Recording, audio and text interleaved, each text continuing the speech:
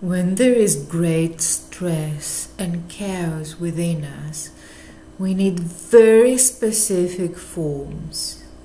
This can lead us to make really bad choices. For example, with our appearance. We are chaotic inside and we decide to change our appearances to, to fit particular forms. This could lead to disaster. We may be chaotic inside and change our appearance or bodily appearance in order to fit very strict and specific forms. But this can also happen with education.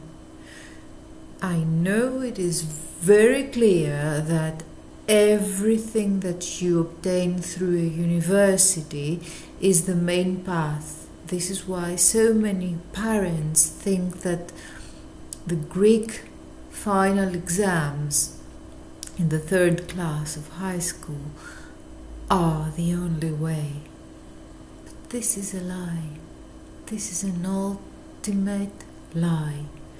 I've met people who are courageous, creative, who adore their jobs and did not follow the path of this strict form. I know people who are amazing English teachers and they never obtained a university degree. I've met the opposite as well. I know people who are amazing painters and they never went to a school.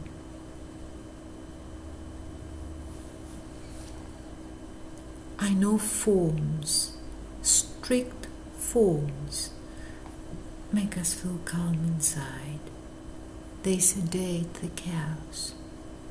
But sometimes strict forms regarding our appearances or our studies